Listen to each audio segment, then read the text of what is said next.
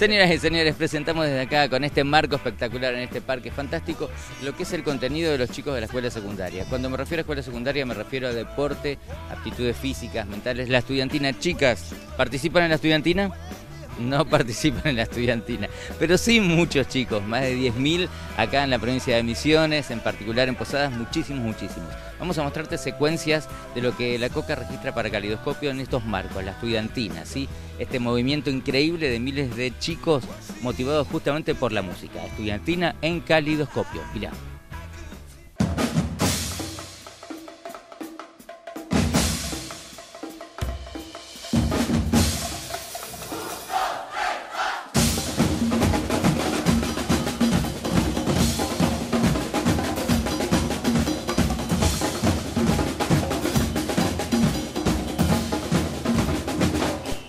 Llega a Calidoscopio una nueva propuesta de la estudiantina. Sí, los protagonistas son los chicos de la escuela secundaria, presentes en la vía pública, desarrollando un fenómeno increíble con mucha historia en la ciudad de Posadas. Estudiantina, acá, en el bloque de la Coca. Mirá cómo se vedraba la primer noche de la estudiantina en la ciudad de Posadas, en el bloque de Coca-Cola.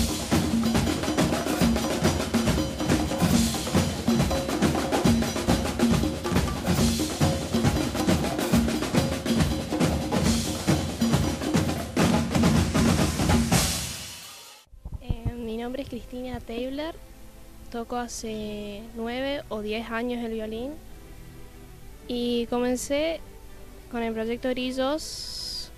Em, si bien tenía una amiga, muy buena amiga, en la guardería, después de la guardería nos dividimos en distintos colegios y yo quería seguir juntándome con ella. Entonces ella hacía, o sea, tocar la flauta en grillos. Mi mamá me dijo que mientras no tenía nada que hacer, que vaya ahí. Ella me inscribió y comencé, como todos, tocando la flauta dulce. Después me acuerdo que Marilé me dio una botella de vidrio de Coca-Cola y me dijo que trate de soplar. Y obviamente no fue mi fuerte, por lo tanto no toqué la flauta traversa y no me acuerdo cómo comencé el violín, pero desde que lo comencé no lo solté más y me di cuenta que es el instrumento que a mí me gustó. Todos los que comenzamos chiquititos vimos como nuestros amigos, desde que comenzamos, ahora se fueron. Y además de ser una segunda familia, algo continuo que vos, por más de que hagas muchos deportes, algunos dejás. Grillos es casi imposible dejar porque te quedan los amigos, los profesores, los amigos que te haces a la distancia. Por ejemplo, todos estos chicos que se fueron ahora, algunos se fueron a, a Chascomús con una beca, con una orquesta llamada Cejar. Y esos chicos los conocimos en eventos que nos invitaron. Y esas, por ejemplo, comenzó en 2007, más o menos. Y imagínate 2016-15, que, o sea, la, toda la amistad que duró. Y así es como se te abren las puertas y nada, se te abren las puertas las amistades Además de aprender un montón de cosas que no aprendes ni en tu familia propia ni en la escuela que te dicen los valores. Y más que Miguel y Marilé son como tus segundos papás que te retan cuando te tienen que retar. Son amigos, son todo. Y además, además de hacer música, hacemos distintos viajes. Viajes de placer, además de tocar. El año pasado o antes pasado fuimos a Ituzaingó, nos fuimos con la intención de tocar, fuimos con la intención de distendernos, de divertirnos. Y así la pasamos todo, integramos el grupo. En noviembre del año pasado fuimos a Perú. Ahí, en ese viaje, los más grandes ya no fueron. Fueron los más chiquititos, que serían los chicos que ingresaban ahora. Y ese viaje sirvió mucho para unir la orquesta, conocernos entre todos y entablar nuevas relaciones para que la orquesta siga siendo unida y no separada, grupos por acá, grupos por allá.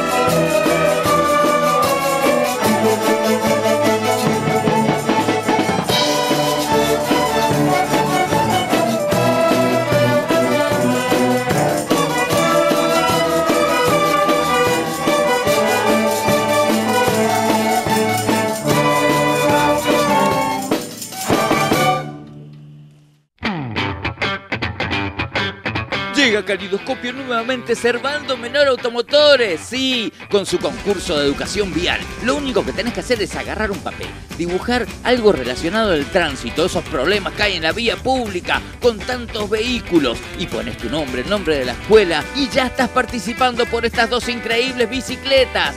Son para vos, no te las pierdas. Niño, niña de la provincia de Misiones, participa del concurso de Servando Menor Automotores y Calidoscopio.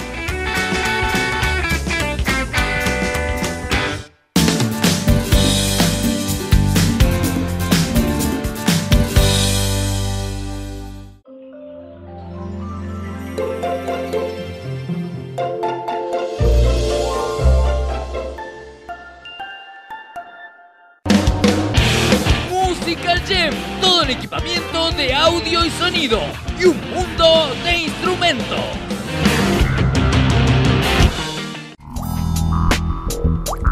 El pan que vos querés está en panadería